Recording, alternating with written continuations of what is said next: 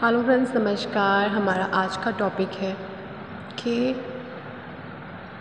कई बार इतनी ज़्यादा स्पिरिचुअल अवैकनिंग के बाद भी कई बार इतनी ज़्यादा नेगेटिविटी कई बार आ जाती है कि हमें तकरीबन दो तीन दिन तक डाउन कर देती है। ग्रेटफुल होना ज़बरदस्ती सा आप करते हैं मतलब मन नहीं करता। करते हैं बट मन नहीं करता। और इतना ज़्यादा लो फील आप करते हैं कि पता नहीं क्या हो रहा है, ऐसा क्यों हो रहा है। अजीब सा लगता है कि बस ज़िंदगी ऐसे ही चल रही है, क्या ये वो पता नहीं कब पूरी होगी लाइफ में क्या है, क्या नहीं, है ना? कई बार ऐसी सिचुएशंस आ जाती हैं। आती हैं सिचुएशन ऐसी, क्योंकि नेगेटिविटी आसपास के लोगों से भी आ जाती है।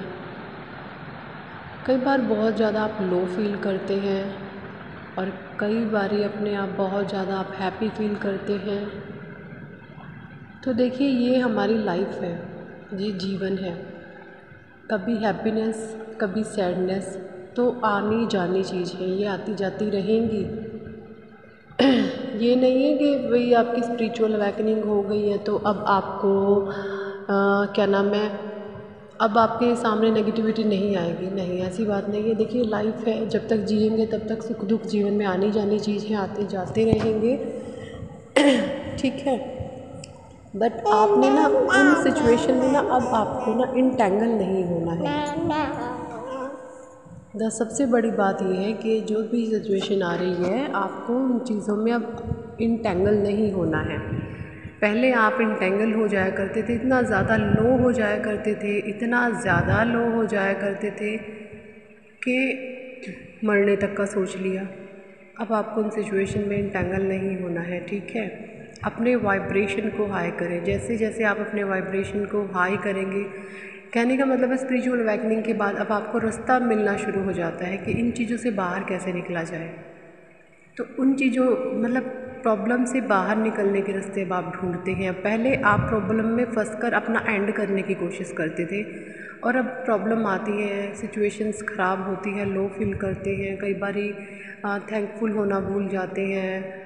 मन नहीं करता कुछ करने का। ऐसी सिचुएशंस आ जाती हैं, कोई बात नहीं। बस अपने आप को फिर भी कोशिश करें हमेशा पॉजिटिव रखने की। ज़बरदस्ती ही सही करें पर।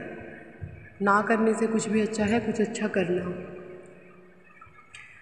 ज़बरदस्ती ही करें ग्रेटफुल होए डेली भगवान को, अपने हर एक चीज़ के लिए परमात्मा को थैंकफुल रहें। और हाई वाइब्रेशन करने के लिए ना, आप डेली दस मिनट मेडिटेशन दस मिनट डीप ब्रीदिंग एक्सरसाइज और दस मिनट तक आप कोई भी कपाल भारती या अनुलोम विलोम, आधा घंटा हो गया टोटल मिला के दस दस मिनट का। अगर आप ये करते हैं ना, इससे तो आपके ऑटोमेटिकली वाइब्रेशन हाई रहते हैं। आपके जब वाइब्रेशन हाई रहते हैं तो बहुत ज़्यादा इसका असर पड़ता है आप पे। वाइब्रेशंस बहुत ज़्यादा हाई रहते हैं आपके। तो जो नेगेटिविटी छोटी मोटी आती है, वो अपने आप चली जाएगी। देखिए, ये जीवन है आनी जानी चीज़ें हैं ये। कुछ हमारे पास कर्माज रहे हैं, है ना? तो ऐसा तो हम नहीं कह सकते भाई कि नेगेटिविटी कभी नहीं आएगी बट हाँ उन सिचुएशन में अपने आप को इंटेंगल बिल्कुल ना करें और जो भी सिचुएशन आए, मन ही मन उस सिचुएशन को आप सॉरी बोल दें, जो पर्सन उनसे जुड़े हुए हैं, उनसे सॉरी बोलें। ठीक है? बस।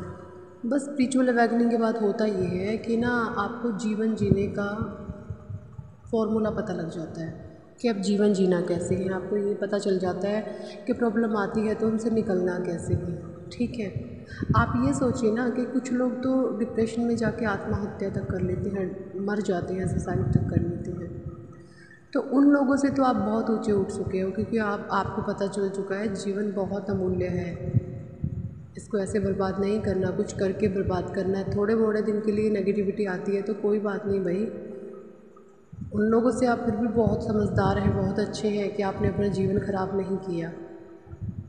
आप फिर भी गिर कर के थोड़ी बहुत चोट लगती है, आ, ऊ होता है, लेकिन उठ तो जाते हो।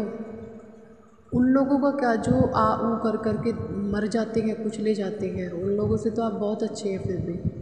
ठीक है? तो बिल्कुल भी घबराएँ नहीं, डरे नहीं नेगेटिव सिचुएशंस आती हैं तो आने दीजिए, कोई बात नहीं बट अपने आप को हमेशा एक एक स्टेप करके आगे बढ़ाते जाएँ। अपना कुछ ना कुछ गोल सेट करें, उस गोल तक पहुँचने के लिए अपने आप पर काम करें, अपनी ग्रोथ पर काम करें।